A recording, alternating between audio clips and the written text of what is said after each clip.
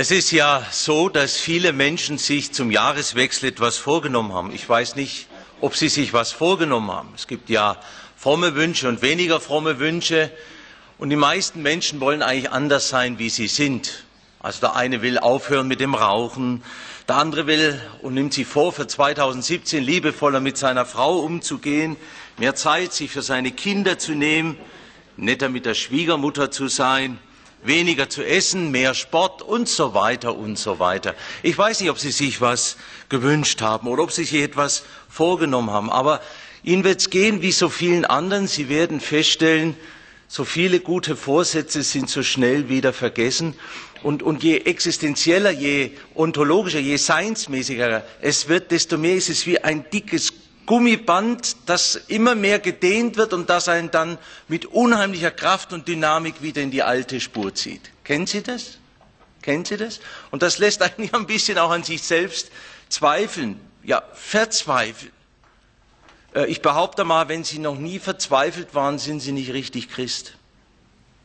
Wenn Sie noch nie an sich selber irre geworden sind, dann sind Sie noch gar nicht richtig Christ. Ich kann mich erinnern, ich war ja bis 1983 Atheist und 1982, das war ein bisschen seltsam, da war ich 18 Jahre alt und da habe ich dann so einen alten Jesus-Schinken angeguckt. Also so habe ich das damals bezeichnet. Als Atheist, als überzeugter Atheist, so einen alten Hollywood-Film, ich, ich weiß nicht mehr welchen. Und es hat mich irgendwie innerlich so berührt, dass ich mir vorgenommen habe, das war nun nicht Silvester, sondern das war Ostern, so wie dieser Jesus will ich sein. Na, Sie können sich vorstellen, wie lange das funktioniert hat. Grandios gestartet, grandios gescheitert. Und ein Jahr später bin ich dann zum Glauben gekommen. Und traditionsgemäß wollen wir uns ja an diesem 1. Januar mit der Jahreslosung beschäftigen, wo der Herr spricht, ich schenke euch ein neues Herz und lege einen neuen Geist in euch. Und das sehen wir, dieser Text aus Ezekiel 36, Vers 26 der verspricht etwas. Einen Neuanfang. Ein, ein, ein, ein, neues Leben ist möglich. Das ist ein gewaltiges Versprechen. Ach, es gibt ja so viele falsche Heilsversprechen. Mach das, komm dahin, ernähr dich so, mach so, äh, meditier darüber, reise dorthin, mach das nicht und so. So viele Heilsversprechen, falsche Heilsversprechen. Aber hier der Ewige, er will einen Neuanfang schenken, ein neues Leben ermöglichen, wirklich Menschen verändern, ja eigentlich ein ganzes Volk. Und gestern Abend hatte ich noch den Austausch mit einem Bruder. Wir haben uns halt auch noch ein gesegnetes neues Jahr gewünscht und so und sind dann auch auf diese Jahreslosung zu sprechen gekommen und er arbeitet in der Medienbranche und er hat ein feines Gespür dafür und er hat gesagt, typisch, die haben den Adressaten wieder weggelassen. Typisch. Wem gilt denn das? Ich schenke euch ein neues Herz und lege einen neuen Geist in euch. Und wir sind einfach in dem Sinn falsch getrichtert, dass wir immer sofort alle Texte und alles, was irgendwo in der Bibel steht, also Sie natürlich nicht, aber die anderen, immer sofort auf unsere Ebene ziehen. Aber wir müssen einmal sagen, das gilt zunächst einmal gar nicht uns. Das sagt der Herr gar nicht dir und mir. Zur Beruhigung dann eigentlich schon.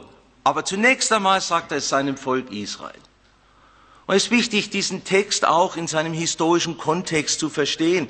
Sonst kommt man da, wenn man immer gleich in diese Ebene springt, was sagt mir das, was bedeutet das für mich und was muss ich jetzt tun, dann macht man da unter Umständen katastrophale Fehler. Also müssen wir ganz kurz auch die historische Situation des Ezekiel, seine Zeit, seine Botschaft betrachten.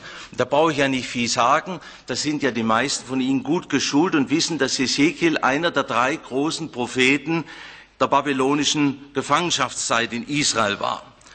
Äh, der andere ist Jeremia, eine Generation älter, dann Daniel in Babylon. Jeremia musste in Jerusalem bleiben, in der belagerten Stadt und eben Hesekiel in Tel Aviv.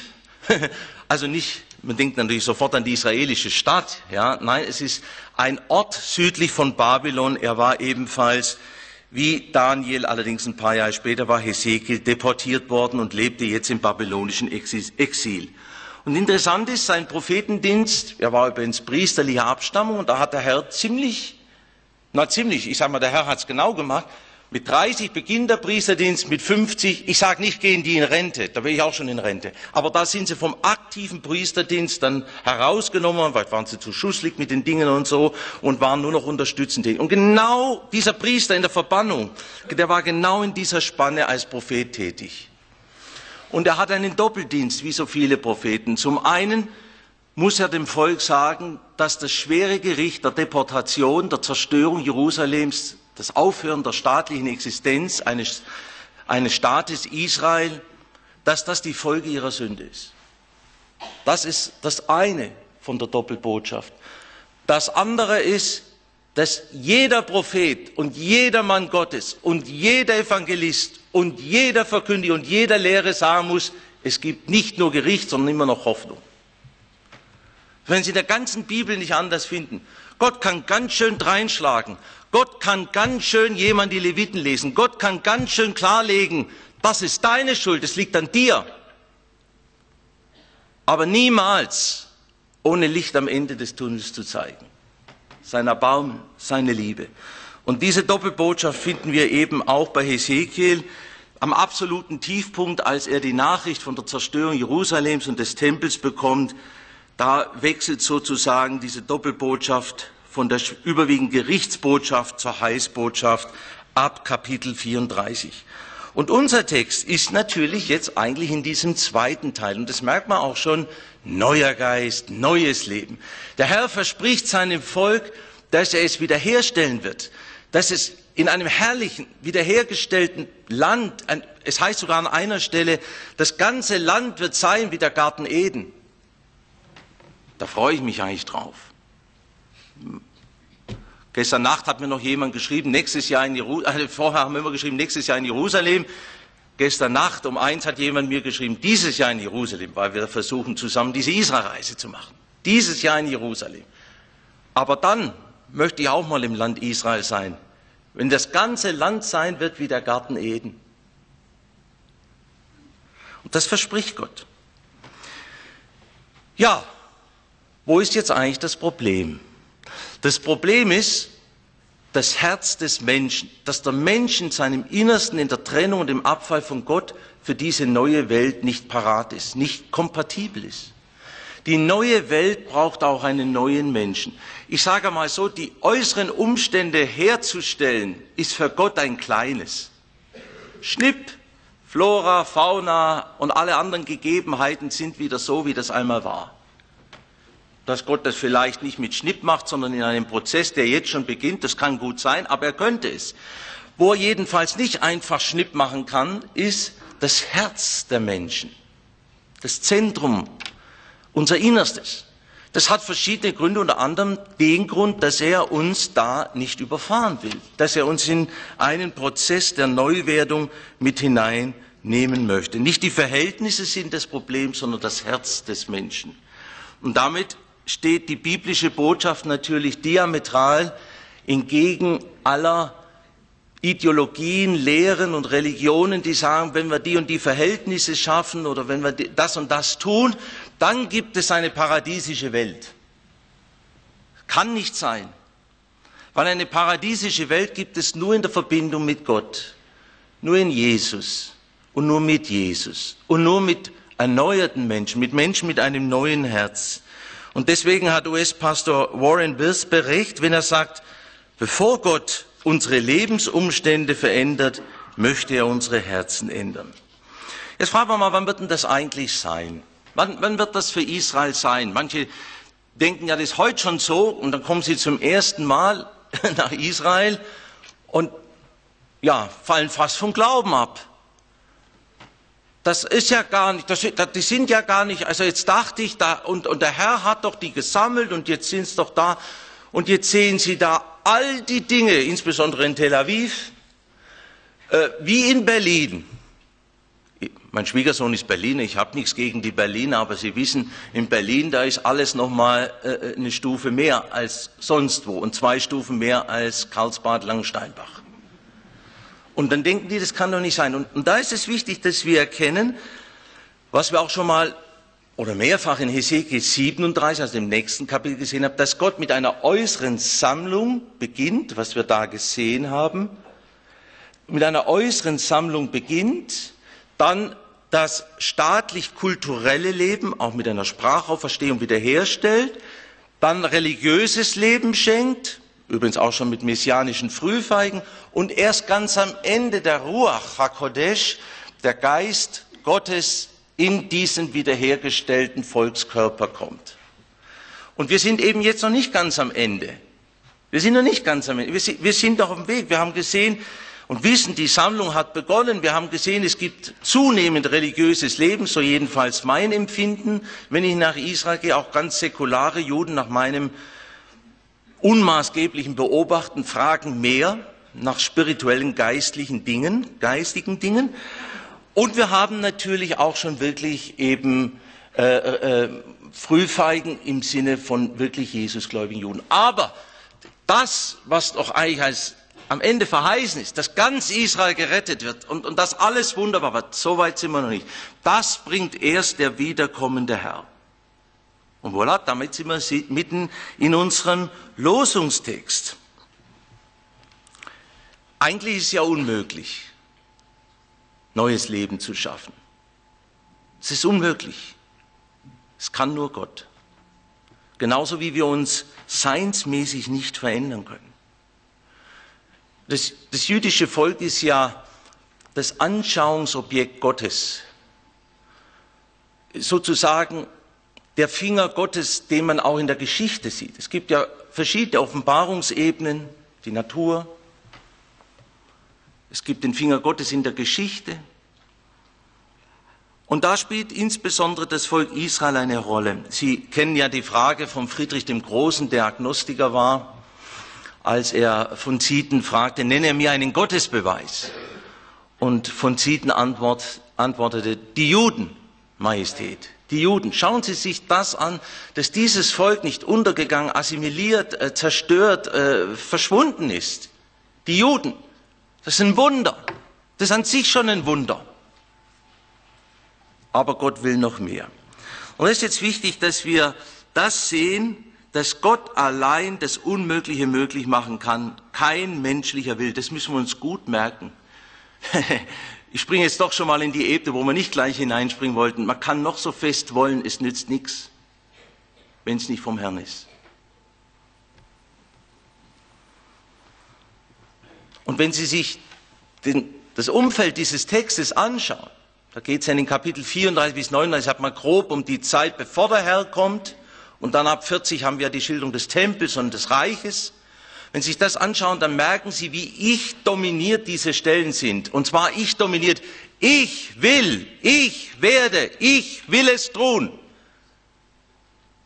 Gott ist der Herr der Geschichte. Gott macht das Entscheidende. Gott geht voran. Gott hat Ziele. Gott wird diese Ziele verwirklichen. Gott will sammeln und reinigen. Gott will vom Tod ins Leben führen und Gott will den Gehorsam des Geistes schenken. Es ist interessant, die Begründung, da bin ich lange hängen geblieben, habe so, so schön viele Dinge mir notiert, die ich alle weggelassen habe.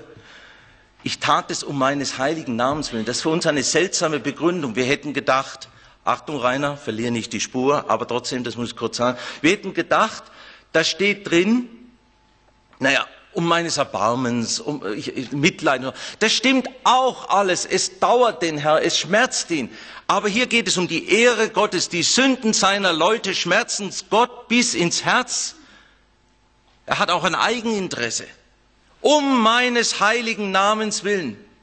Er leidet. Und jetzt wollen wir einmal auf dieses 36. Kapitel hören, in dem wir dann auch im 26. Vers diese Losung des Jahres 2017 finden.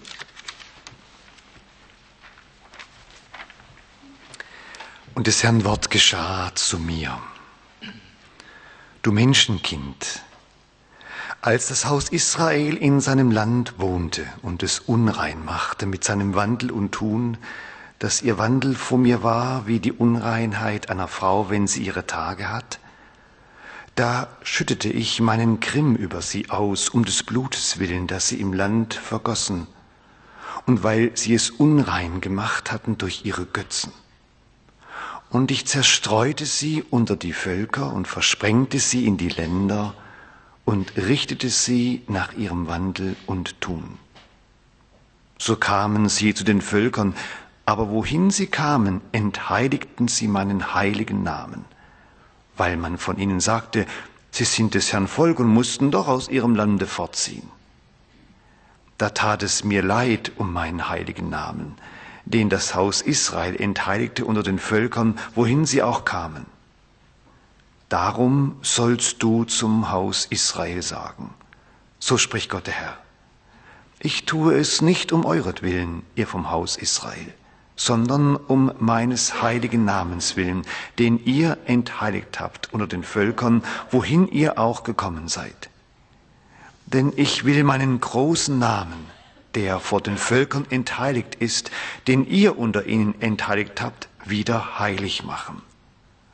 Und die Völker sollen erfahren, dass ich der Herr bin, spricht Gott der Herr, wenn ich vor ihren Augen an euch zeige, dass ich heilig bin.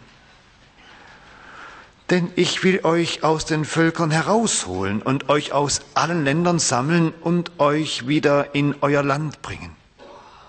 Und ich will reines Wasser über euch sprengen, dass ihr rein werdet. Von aller eurer Unreinheit und von allen euren Götzen will ich euch reinigen. Und ich will euch ein neues Herz und einen neuen Geist in euch geben. Und will das steinerne Herz aus eurem Fleisch wegnehmen und euch ein fleischernes Herz geben. Ich will meinen Geist in euch geben und will solche Leute aus euch machen, die in meinen Geboten wandeln und meine Rechte halten und danach tun. Und ihr sollt wohnen im Land, das ich euren Vätern gegeben habe, und sollt mein Volk sein, und ich will euer Gott sein. Ich will euch von all eurer Unreinheit erlösen und will das Korn rufen und will es mehren und will keine Hungersnot über euch kommen lassen. Ich will die Früchte der Bäume und den Ertrag des Feldes mehren, dass euch die Völker nicht mehr verspotten, weil ihr hungern müsst. Dann werdet ihr an euren bösen Wandel denken und an euer Tun, das nicht gut war, und werdet euch selbst zuwider sein, um eurer Sünde und eurer Gräuel willen. Nicht um euretwillen tue ich das, spricht Gott der Herr, das sollt ihr wissen, sondern ihr werdet euch schämen müssen und schamrot werden, ihr vom Haus Israel über euren Wandel. So spricht Gott der Herr zu der Zeit, wenn ich euch reinigen werde von all euren Sünden, will ich die Städte wieder bewohnt sein lassen und die Trümmer sollen wieder aufgebaut werden. Das verwüstete Land soll wieder gepflügt werden, nachdem es verheert war, vor den Augen aller, die vorübergingen. Und man wird sagen, dieses Land war verheert und jetzt ist's wie der Garten Eden. Und diese Städte waren zerstört, öde und niedergerissen und stehen nun festgebaut und sind bewohnt. Die Völker, die um euch her übrig geblieben sind, sollen erfahren, dass ich der Herr bin, der da baut, was niedergerissen ist, umpflanzt, was verheert war. Ich, der Herr, sage es und tue es auch. So spricht Gott der Herr, auch darin will ich mich vom Haus Israel bitten lassen, dass ich dies ihnen tue. Ich will die Menschen bei ihnen mehren wie eine Herde wie eine heilige Herde, wie eine Herde in Jerusalem an ihren Festen, so sollen die verwüsteten Städte voll Menschenherden werden. Und sie sollen erfahren, dass ich der Herr bin.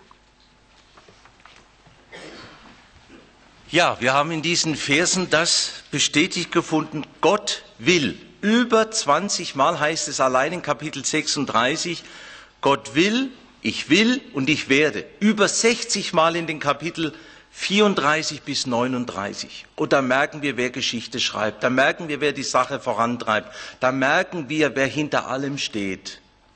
Gott will sammeln und reinigen. Aus allen Nationen. Hat ja schon angefangen. Er wird sie bringen. Und er wird sie weiterbringen. Und er will sie reinigen, damit breit machen für den Empfang des neuen Lebens durch den Geist Gottes. Und das ist das Zweite, was Gott dann tun wird. Gott will vom Tod ins Leben führen. Ich will euch ein neues Herz, einen neuen Geist in euch geben. und will das steinerne Herz aus eurem Fleisch wegnehmen und euch ein fleischernes Herz geben. Und wir spüren Sie wieder dieser ich-dominierte Satz. Durch Sündenvergebung, durch Reinigung, durch geistliche Neuwerdung. Es, es ist natürlich eine Bildsprache, zumindest was das Herz betrifft, ein neues fleischernes Herz. Das bedeutet eine neue Kreatur, neuer Mensch werden, aus dem Licht geboren zu werden. Es ist nicht Reparatur. Es ist nicht die, die Förderung des Guten, also dass Gott sagt, ja, also 80 Prozent kann man vergessen. Aber die 20 Prozent, was bei dir ganz in Ordnung ist, das will ich entfalten, das will ich fördern, das will ich voranbringen. Nein, des Menschen Herzen ist böse von seiner Jugend an. So sagt es die Schrift. Es ist verfinstert, weil sie sich vom Licht abgewendet haben.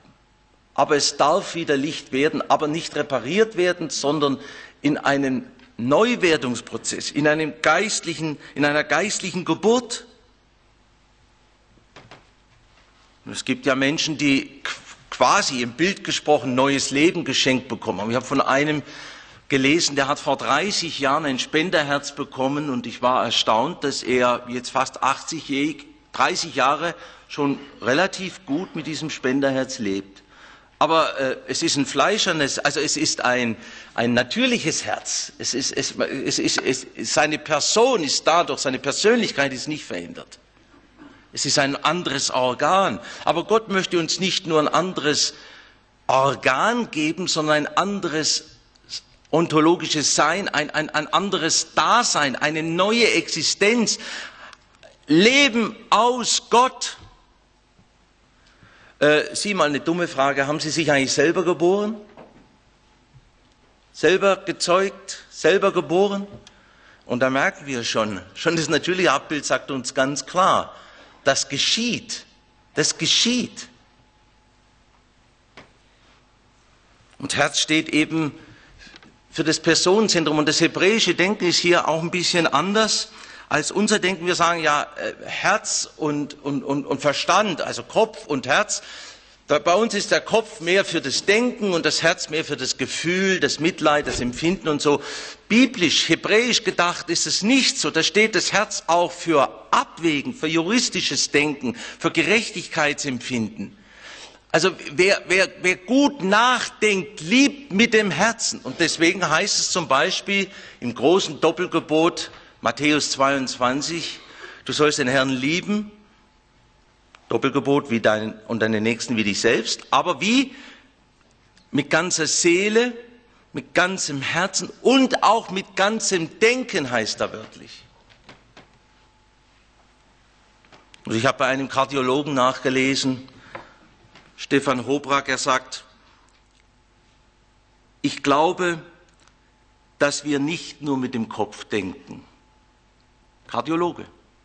Er kann es nicht beweisen. Er sagt, sein tiefes Empfinden ist, dass rein neurobiologisch sich in unserem Herzen schon viel mehr abspielt, als wir uns das vorstellen können. Und jetzt will Gott ein neues Leben, ein neues inneres Sein schenken. Und das ist doch ein Wunder. Wir sind auch, wie wir angefangen haben, gesagt haben, manchmal können Sie sich doch selber auf den Mond schießen. Können Sie sich doch selber auf den Mond schießen. Und wer hat nicht schon den Wunsch gehabt, neu anzufangen, anders zu sein, anders zu leben? Vielleicht machen Sie das auch manchmal, dass Sie sich so gedanklich sagen, was würde ich eigentlich heute, wenn ich noch mal 20 oder 15 wäre, ihr habt's gut, ihr könnt es jetzt noch entscheiden, aber was würde ich heute noch, wenn ich noch mal 15, 20 wäre, anders machen? Was ist eigentlich gut gelaufen in meinem Leben, was ist schief gelaufen, was, was würde ich auf keinen Fall wiederholen? Aber wir können es ja nicht rückgängig machen. Und das Allerschlimmste ist, wir können es nicht nur nicht rückgängig machen, sondern wir haben nicht nur uns geschadet, sondern auch so vielen anderen. Und das ist eben auch die Botschaft. Gott macht nicht nur neu und stellt wieder her, sondern er erstattet auch. Und so wird Israel auch ein Segen sein, zum Segen gesetzt sein. Aber mit diesem neuen Leben, das sie ausleben dürfen, die Liebe, die Gott in ihr Herz gelegt hat, dürfen sie ein Segen sein für alle Völker. Und dann ist das verwirklicht oder beginnt sich das zu verwirklichen, was der Herr Abraham schon ganz am Anfang gesagt hat, ich will dich segnen und zum Segen setzen. In dir sollen gesegnet werden alle Geschlechter der Erde. Aber ohne Wiedergeburt von oben geht's nicht. Ohne Jesus geht's nicht. An Jesus kommt keiner vorbei. Nikodemus, das war ja ein gebildeter, pharisäischer Jude, hoch angesehen. Und die hatten so ihre Gedanken, die Rabbinen, wer, wer in das Reich kommt. Und da gab es so verschiedene Möglichkeiten. Aber eigentlich der war, ich sage es mal so, ohne Ihnen alle die Möglichkeiten zu nennen, der war schon auf der sicheren Seite. A war Israelit, B und so weiter. Er, er war Schriftgelehrter. Also der war schon auf der sicheren Seite. Und jetzt kommt er zu Jesus in der Nacht. Nicht unbedingt nur aus Scham, sondern weil die Menschenmassen sich auch um ihn gedrängt haben. Und so Nachtgespräche waren jetzt nicht so selten. Und er kommt zu ihm und was muss sich dieser Mann, der dachte, ich bin ziemlich sicher dabei, also wenn ich nicht dabei bin, dann ist ja wohl keiner dabei. Und dann sagt Jesus, du kannst nicht in das Reich Gottes kommen, wenn du nicht von neuem geboren wirst. Das war für den ein Keulenschlag. Aber es war notwendig. Gott, Jesus musste die Diagnose stellen, damit er aufwacht und damit er merkt, so geht das nicht, wie ich bisher gedacht habe. Von neuem geboren werden. Und dazu musste Gott in diese Welt kommen, dazu musste Jesus ans Kreuz, dass dieser neumachende Geist Gottes gesandt werden kann, erstmalig, ja dann an Pfingsten. Es gibt noch einen anderen Text, äh, ich will das nur kurz machen, Hesekiel 18, 31. Da wird in etwa das Gleiche gesagt, aber für uns zunächst einmal so komisch, es ist wie ein Antitext. Also in unserem Text macht alles Gott. Und jetzt lesen Sie mal mit mir Hesekiel 18, 31. Und da ist alles auf den Menschen abgestellt. Werft von euch alle eure Betretung, die ihr begangen habt, und macht euch ein neues Herz. Gerade haben wir gesagt, das geht nicht. Macht euch einen neuen Geist. Denn warum wollt ihr sterben, ihr vom Haus Israel? Denn ich habe kein Gefallen am Tod des Sterbenden, spricht Gott der Herr. Darum bekehrt euch, so werdet ihr leben. Und das hat natürlich in der Auslegungsgeschichte, auch in der Reformationszeit, eine breite Diskussion haben solche Texte ausgelöst. Kann der Mensch sich jetzt selbst bekehren oder nicht? Und ich will es einfach machen, ohne auf die lange Diskussion von Erasmus von Rotterdam mit Martin Luther einzugehen, vom freien und unfreien Willen. Ich glaube, es ist so, wie die Reformatoren gesagt haben, der Mensch kann nicht aus sich aber wenn ihn das Wort der Wahrheit, das Evangelium erreicht, dann gleichsam auch die Energie Gottes, die Kraft Gottes Ja zu sagen. Der erste Schritt geht immer von Gott aus. Also Sie, die Sie jetzt alle heute Morgen hier sitzen und das hören, Sie können nicht sagen, na, ich weiß ja nicht, wenn es der Herr nicht will. Sie können und dürfen und sollen Ja sagen. Ja, Herr. Du hast dich zu mir bekehrt, ich möchte mich zu dir bekehren. Und dann will Gott den Geist des Gehorsams schenken. Das neue Leben will gelebt werden. Liebe will lieben. Licht will Licht geben. Ein neues Herz will Herzen verändern. Das wird eben dann auch weggelassen in der Jahreslosung, dass das eine Konsequenz hat, eine Folge. Aber Sie jetzt mal unter uns gesagt, ist es schlimm, so zu leben, wie Gott lebt? Na, hallo, das ist doch mein alter Wunsch, 1982, Ostern. Das war doch mein Wunsch. Ich, so möchte ich doch sein. Gut, ob der Jesus-Film das so richtig dargestellt hat. Ich wäre ja schon gern mal dabei gewesen. Sie auch? Das, das, ist etwas, was ich gerne mache, dass ich mir überlege, in welche historische Situation möchte ich mal so als Mäuschen versetzt werden. Natürlich äh, nicht gefährdet oder so, ja. Und dann sage ich immer, und jetzt die ungeistliche Variante, die geistliche Variante, was interessiert mich? Und, und wissen Sie, in die Zeit Jesu und der Apostel, dass wir den Herrn zu sehen, so zu sein wie er. Neues Leben ist möglich für sein Volk. Ich will meinen Geist, so heißt es Vers 27, in euch geben und will solche Leute aus euch machen, die in meinen Geboten wandeln und meine Rechte halten und danach tun. Das dürfen wir aus Dankbarkeit. Weil das Leben gelebt werden will, weil die Liebe lieben will. Das ist kein Zwang, das ist ganz normal. Wenn ein Elefant ein Elefantenbaby zur Welt bringt, ist es ein Elefant, benimmt sich wie ein Elefant, rüsselt wie ein Elefant, läuft wie ein Elefant, frisst wie ein Elefant. Entschuldigung, dieses unpassende Beispiel, aber ein Gotteskind möchte leben, wie sein Vater lebt. Das ist normal. Das ist kein Zwang. Das ist ein Geschenk. Das ist doch wunderbar, dass ich nicht mehr nur mit diesem alten Rainer Wörz zu tun habe.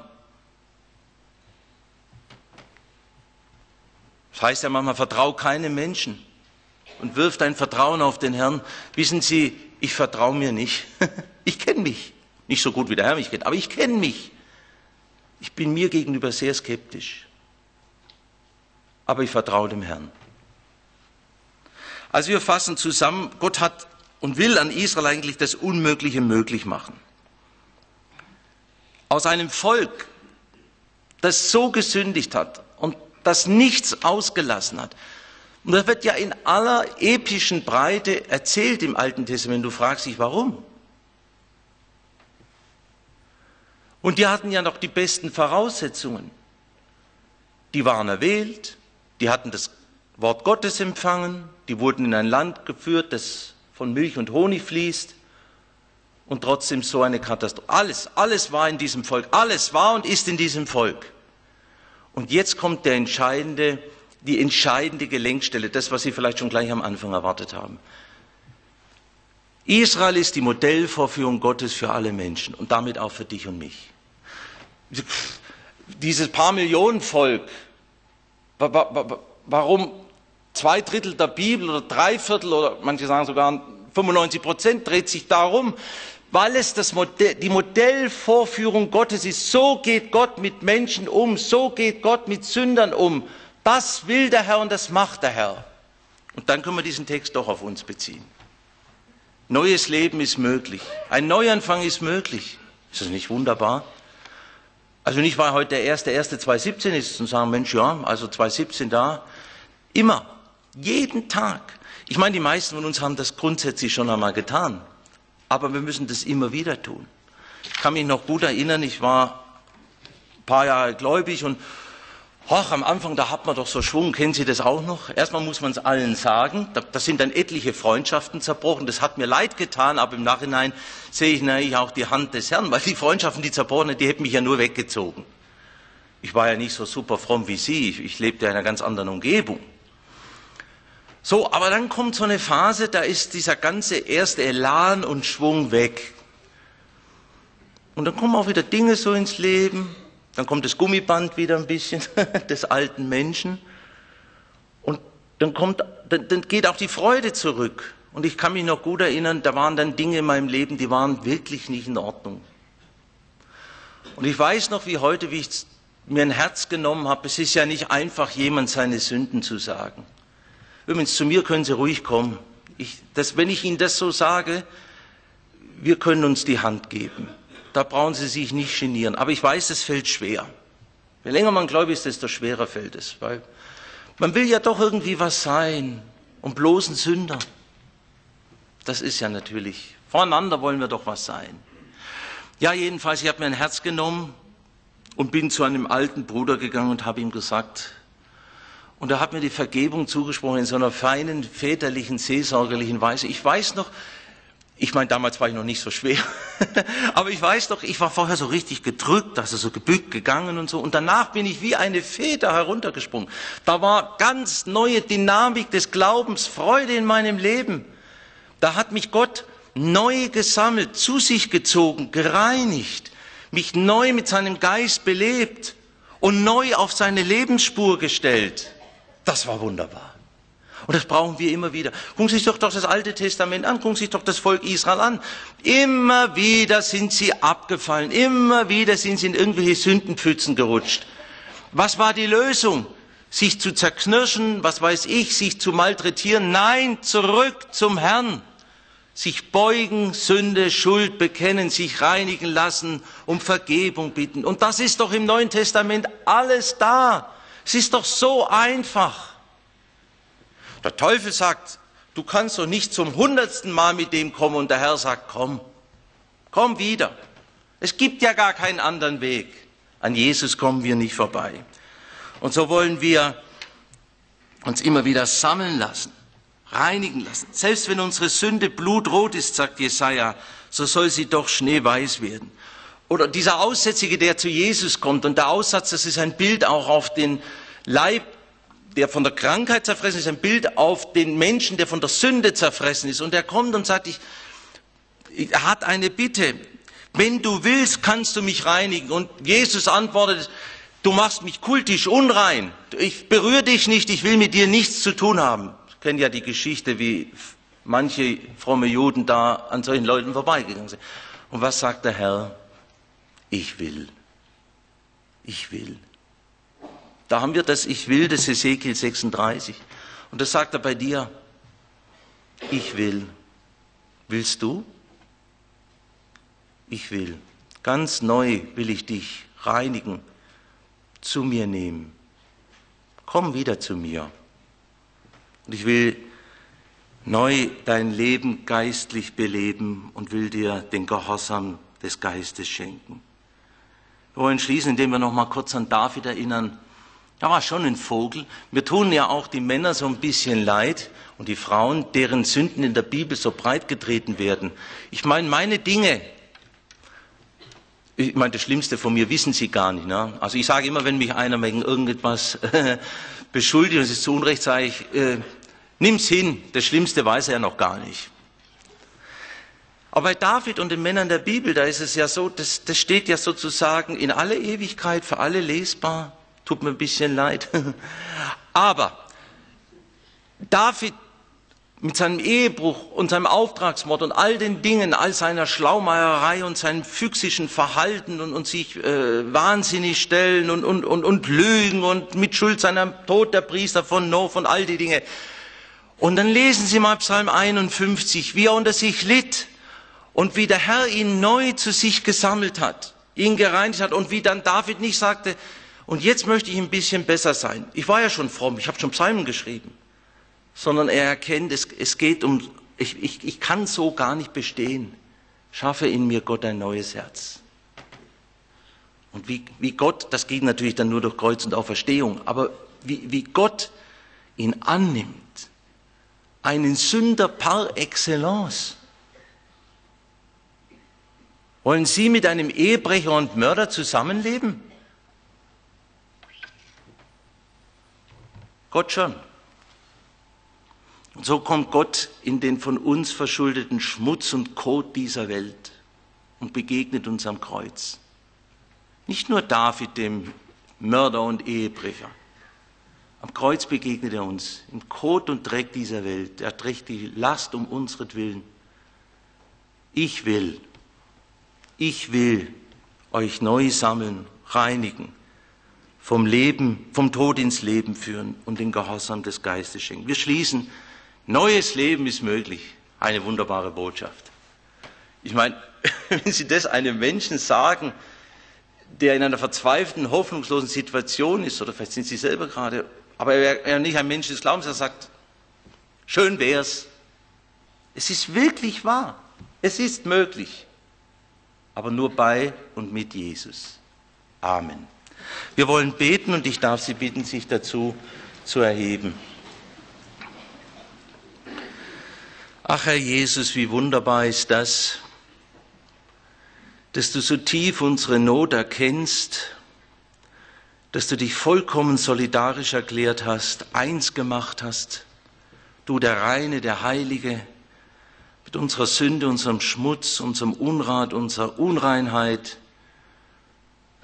um uns zu dir zu ziehen, zu sammeln, zu reinigen, ins Leben zu führen und kompatibel für ein Leben mit dir zu machen. Was für ein Wunder. Ich danke dir von Herzen dafür. Und dass das nicht einmal und dann sagt der Herr, ja, das hast du deine Chance vertan, sondern immer wieder neu möglich ist. Und du weißt, wie, wie das Band uns auch immer wieder zurückzieht, wie wir im Ungehorsam sind und wieder alte Wege gehen. Danke, dass wir immer wieder kommen dürfen, uns neu von dir sammeln lassen dürfen, reinigen lassen dürfen, neu beleben lassen dürfen. Ja, Herr Jesus, wir wollen in deiner Spur gehen. Wir wollen lieben, wie du liebst. Wir wollen Licht geben, wie du Licht gibst. Und wir wollen dir unser Herz geben, unser Leben, unser Innerstes. Es sei dir geweiht für Zeit und Ewigkeit. Amen.